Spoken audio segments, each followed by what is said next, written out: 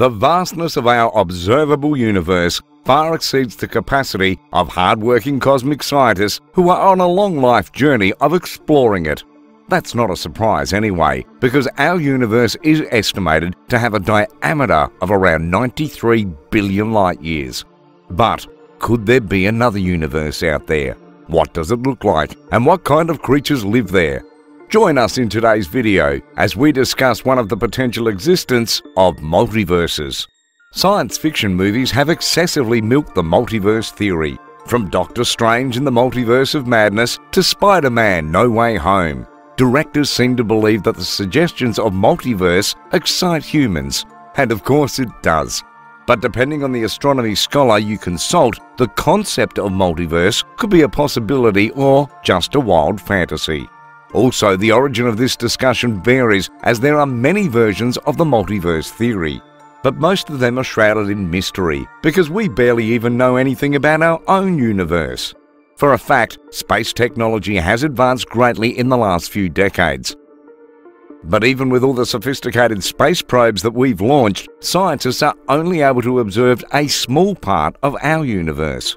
According to scientists, the amount of matter that exists in the universe is somewhere between 1 and 10%. The remaining 90% is reportedly split between dark energy and dark matter. Another predictive model suggests that only 5% of the Earth is made up of matter, with the remaining 95% shared between dark matter and dark energy. However, as we mentioned earlier, most of these theories cannot be explained, and despite all the claims of dark matter and dark energy dominating the universe, scientists are yet to observe or measure them directly.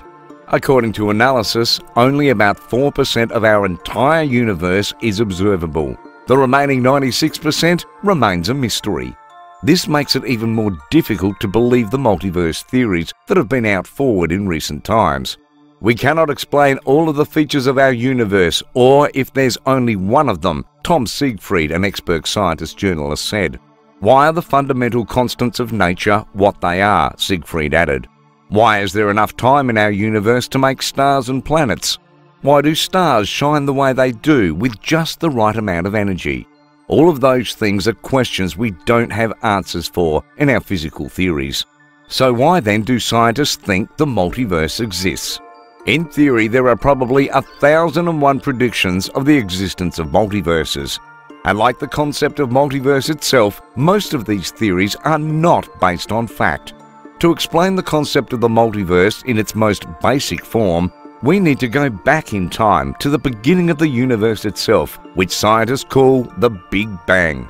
According to theorists, the expansion of our universe began quickly before subsequently slowing down in the same way that a balloon would when you inflate it. As a result of this exponential expansion, our universe, as well as other potential universes, was formed as a large bubble-like multiverse. Since then, portions of the universe have continued to expand even to this day. According to reports, the expansion process had continued to create new bubble-like worlds. While some of the multiverse bubbles are still hot and rapidly expanding, others, like our own universe, have calmed down and cooled to allow for the emergence of stars, planets, galaxies, and other celestial objects. It's possible that other universes do not follow the same universal principles of physics that we are familiar with and comprehend on our own.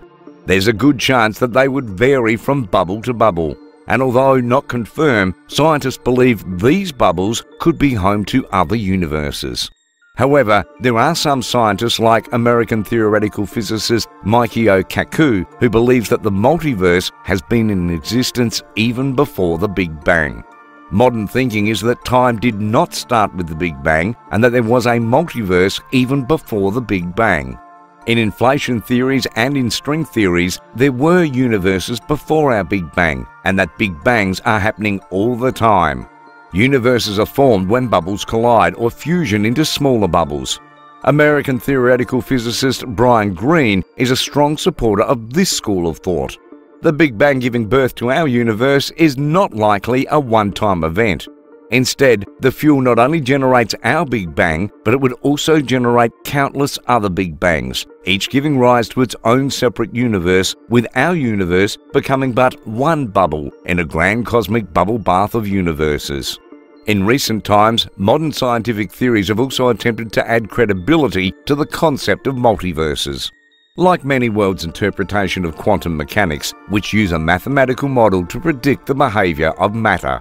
Proposed by Hugh Everett in 1957, this concept forecast the possibility of alternate realities where another you could be in existence. But there is a significant twist to it. For instance, if there's another universe out there, it is quite possible that it wouldn't obey the same laws of physics that applies to us. Meaning the other you in another universe could be doing the exact opposite of everything you're doing in our universe. So rather than walk, the other you in the other universe might be flying.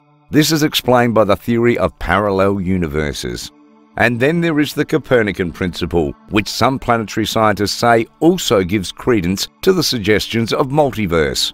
According to Neil deGrasse Tyson, while the Copernican principle comes with no guarantees that it will forever guide us to cosmic truth, it's worked quite well so far. Not only is Earth not the centre of the solar system, but the solar system is not the centre of the Milky Way galaxy, and the Milky Way galaxy is not the centre of the universe. And it may come to pass that our universe is just one of many that comprise a multiverse, Neil said.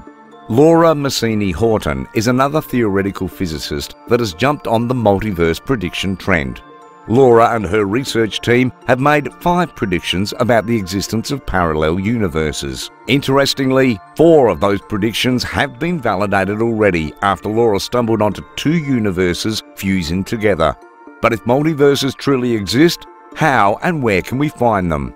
Our best bet of finding another universe would be outside our solar system. But that's a territory that's beyond our reach at the moment.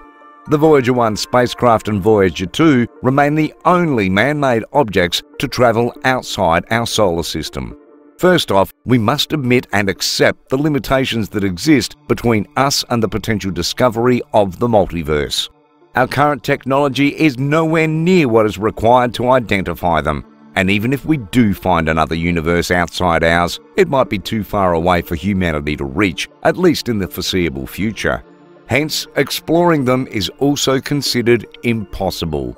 Unfortunately, no, scientists don't think it's possible to travel between universes, at least not yet, Tom Siegfried explained. Unless a whole lot of physics we know that's pretty solidly established is wrong, you can't travel to these multiverses, Siegfried added. However, the consensus among top scientists remains that the information we have about the multiverse is limited.